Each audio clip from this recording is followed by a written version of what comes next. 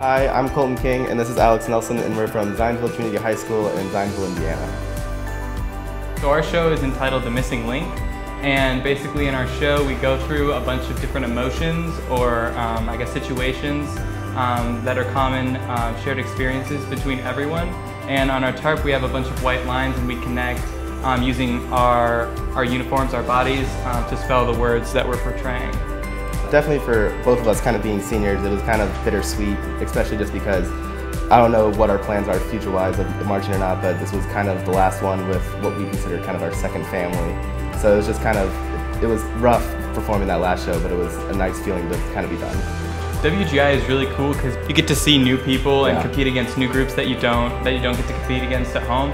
And everyone that comes is doing something so unique and so exciting. So it's really cool to see what other people are doing. And everyone just has such a love for the activity that I think is Yeah. really cool. It's all pretty much one big family. Like you'll have your competitions within your class, but when you're outside of performing, you're friends with everyone.